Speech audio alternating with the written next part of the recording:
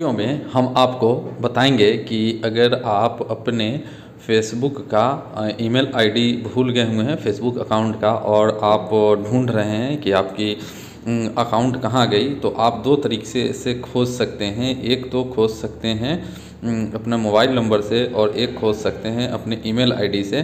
देखिए होता क्या है कि फेसबुक का जो आपका कई अकाउंट होता है, लेकिन आप भूल जाते हैं उसका पासवर्ड वगैरह तो फिर कैसे खोजेंगे? तो यहाँ पे आपको जो, जब आप फेसबुक अकाउंट बनाए थे, उस टाइम आपने उसमें मोबाइल नंबर दिया होगा। वो मोबाइल नंबर यहाँ पे इंटर करना है। यहाँ पे लिख भी रहा है you may receive WhatsApp and SMS notification from us your security and login purpose तो जो आदमी का, जो फेसबुक में जो मोबाइल नंबर हो दिया होगा, उसी पे ओटीपी आएगा, तब जा कर के ये ओपन हो पाएगा। तो चलिए हम देखते हैं कैसे इसमें फाइंड करना है। तो मोबाइल नंबर इसमें एंटर करेंगे कंटिन्यू करेंगे तो आपकी अकाउंट आ जाएगी।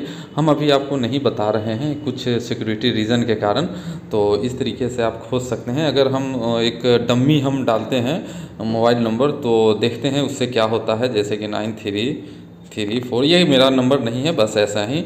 में, हम डाल के देखते हैं कि इस नंबर से कोई अकाउंट बना हुआ है या नहीं। तो इस अकाउंट से दो पीपी के नाम से दो बना हुआ है।